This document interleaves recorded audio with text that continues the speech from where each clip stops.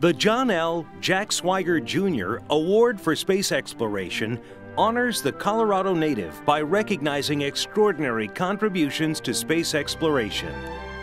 Jack Swigert was a former U.S. Air Force combat pilot and engineer test pilot who overcame tremendous odds on the Apollo 13 lunar mission. Alongside astronauts James A. Lovell Jr. and Fred Haise, and with the help of NASA's Mission Control, Swigert coordinated a safe return to Earth after a perilous oxygen tank rupture en route to the Moon. The Swigert Award was established by the Space Foundation to pay tribute to his lasting legacy and dedication to space exploration.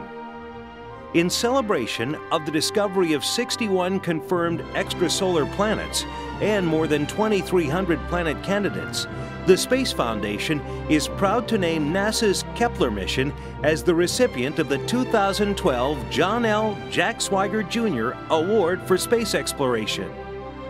Following its launch into solar orbit in the spring of 2009, the Kepler Space Telescope has continuously photographed a fixed point in celestial space near the Cygnus constellation in search of potentially habitable Earth sized planets.